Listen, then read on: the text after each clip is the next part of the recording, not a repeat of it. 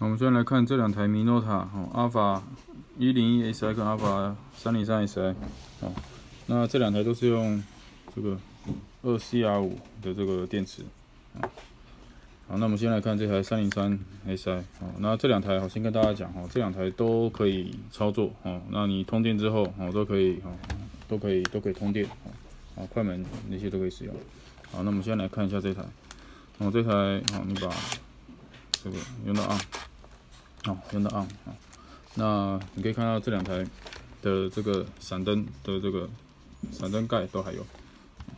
那我们先来看一下，那他们这个镜头哈都还可以，镜头快门都还可以正常操作哈。你看快门正常，快门正常。好，那嗯可以看一下啊。那我们先来看一下这个底片式，底片式的这个部分。哦，那海绵哦跟底片式的那个状况哦都是都是正常的。好，那看一下底部啊。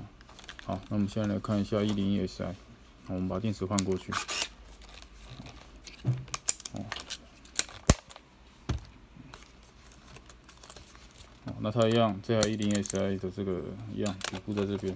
把电池放进去之后，哦，跟三零三也很像。啊，这边也是一样，lock on。好，我们把它切换到 on。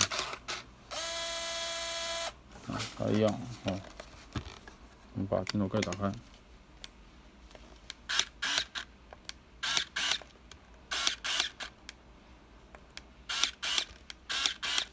这个是没有。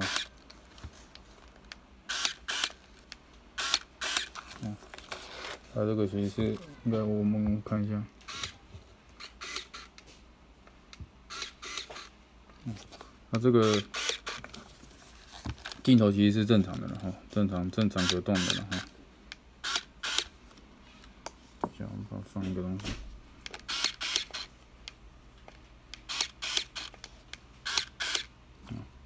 好，那现在可以看到哈，它这个镜头可以动啊。然后这个快门其实应该也是正常的哈。我们把镜头拿下来，可以看一下。